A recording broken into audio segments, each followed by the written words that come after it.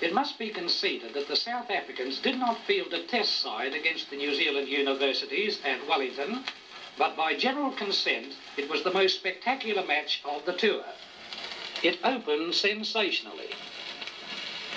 And Dryburgh to do the kicking off. He's going to kick towards the western bank side. And here he goes with his first kick off towards the other side. And it just reaches the 10-yard uh, mark. Pickard got his hands to it for a moment. They're into a ruck. And out it comes. And Stratham gets it out right onto Howe. And Howe kicks across towards the right wing side. About the 25. Deneen, it bounces badly for him. And there's Dryburgh in. It'll be a try to Dryburgh. It's a try to Dryburgh in the first half a minute of the game. Try for South Africa. And Vivier missed rather an easy kick. And then after three and a half minutes, Deneen equalled the scores with a penalty to make it three all. After five minutes, Jarden missed a penalty. And then one minute later, Deneen kicked a further one.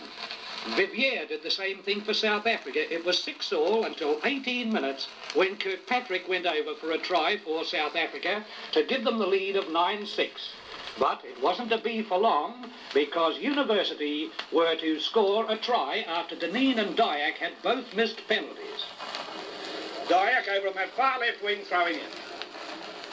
In it goes, and this time we see Winteray with the ball, trying to get it back to his halfback, and he breaks this Malloy.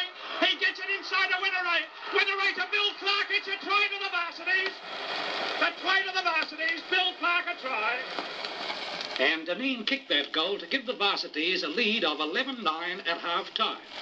Eight minutes after the second spell started, South Africa went into the lead when Vivier kicked a penalty, 12-11.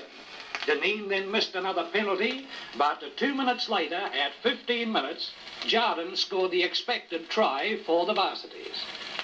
And there, it's thrown in by Dyack. It's gone back behind Malloy. Stark kicks it downfield, but the referee says not straight. 12 11 Springboks. Malloy puts the ball in on the, or just outside the 25 by five yards. For the students, he gets it too, and it goes out of Fitzpatrick, and Fitzpatrick puts a high one up.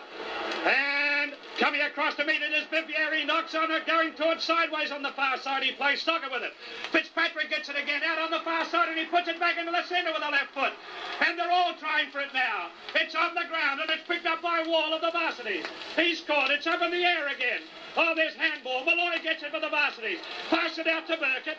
Burkett tries to go infield, right in the middle of the 25. Out to Malloy again. He makes a break, gets it out then, and it's gone out as far as Fitzpatrick. Fitzpatrick to Jarden. Here's a try.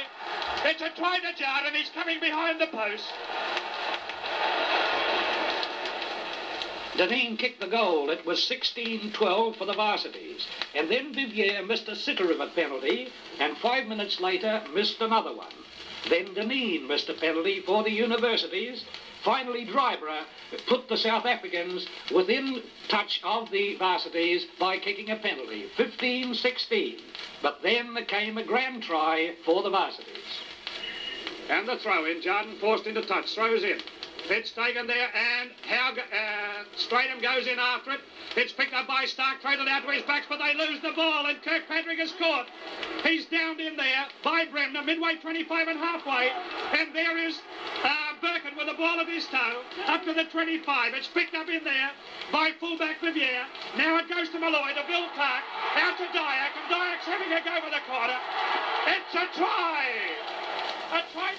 It wasn't converted, but then as it opened sensationally, so did the match end sensationally. And here we have the final try of that match. The dropout now. And taking it in there is the koi of the varsities. It goes back to the number eight Burkett. Now it's picked up by Stratham to Johnston in at fly half to Kirkpatrick.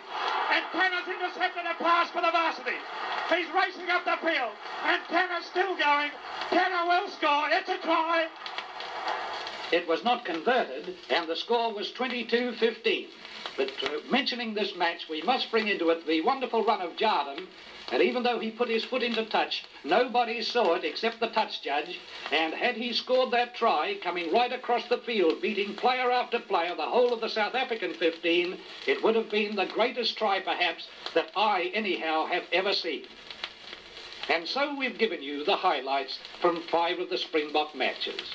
Arguments will arise from time to time as to how Jarden scored, how Dixon got the ball for his try at Christchurch, or how the brilliant Jones scored his amazing try. Well, don't argue, just play this over again.